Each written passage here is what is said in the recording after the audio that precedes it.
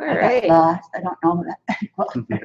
And I was right around the corner, but I didn't know Hi. where Wyndham Street was. Yeah. So we're gonna learn how to paint winter scenes, winter trees.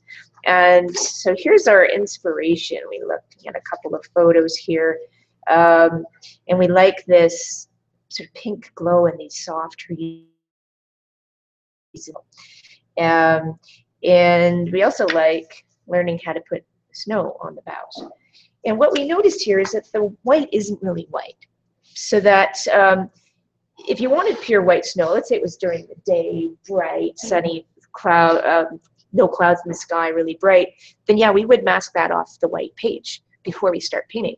But in this kind of scene where it's a little more muted light, the whites aren't really pure white. So we're going to start with a wash on the page first, and then we'll do some masking off. Okay?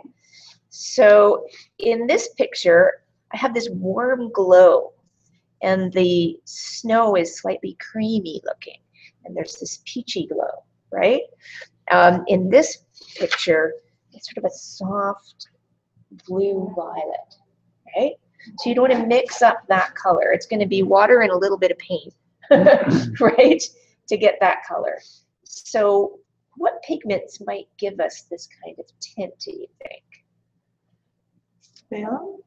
No, phthalo would be way too Too dark? intense. So you could, there's a little bit of blue and a little bit of violet in there and a lot of water, right? So you could try a little bit of indigo and a little bit of uh, dioxazine violet. That could work. So I could mix those two and water them down. But if I want to give it a, a more beautiful color, because indigo is kind of blah, Right. I might want to use maybe some cerulean blue Just a bit in to make it a little prettier.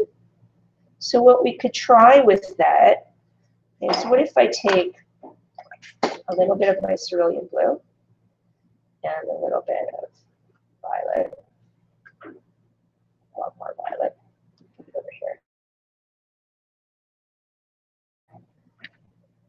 Stir that one.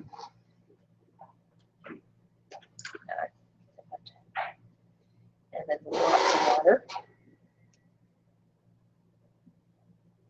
So that's the violet and cerulean without Yeah. indigo. Does that have indigo in it yet? This one? No, no indigo. Just cerulean and violet. I cut it dark really fast. Ooh, It's kind of close. that's close. Yeah, it's nice. and slightly prettier than what's there. So that kind of works. Mhm. Um, so that might work. You could do that. So with a painting like this, you're going to want to pre-palette and pre-mix your colors. So in this kind of case, of this kind of painting, using the cake tray might be a little bit more difficult. That's really great when you want to paint really quick and here's this color and I go and that color and kind of brush strokey stuff. Or you can use a spritzer bottle, right, and spritz your, your paint tray so that they're nice and wet and ready to go, and then mix in the tray beside it because you've got a cake or a pan set, right? We've mixed up all the colors for the class today so that you can just use in your other paint tray what we've mixed. I like to do that in workshops because it saves time. too. So we've got here Oriole yellow that's been watered down, uh, permanent rose that's been watered down. This is uh, cerulean blue with a bit of phthalo. That's indigo blue, and that's dioxazine violet right there. Um, but we need to palette these colors a little bit to get exactly what we want. So this yellow is maybe too pure to use as it is. Uh, so maybe, because we get these very soft, creamy looks, I don't want a pure yellow. So a way to kind of calm down my yellow is just to add the tiniest bit of violet to it. Not to make it go ochre, just to make oxazine. But you know what? I think we got too much, not enough yellow in that. Hmm. Um, Where is that? somewhere on the table, I think. Did I bring it back? Oh no, it's here. I got it. I thought we left it on the table, but we didn't. So you can just add a tiny bit more. So we don't want it to be screaming yellow. We just want this creamy hint of color, right? So we got a little bit of yellow and a little bit of violet.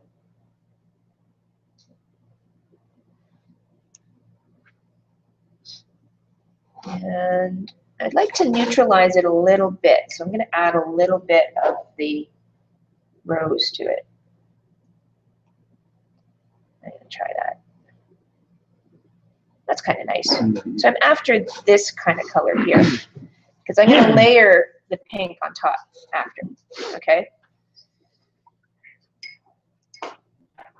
And so, so you're gonna, if you wanna keep with this kind of look of the blue, Cynthia, then you're gonna do just a wash in the light I was blue. just thinking though, if I have the peach up here, it would probably be reflected in the snow, wouldn't it? Mm-hmm.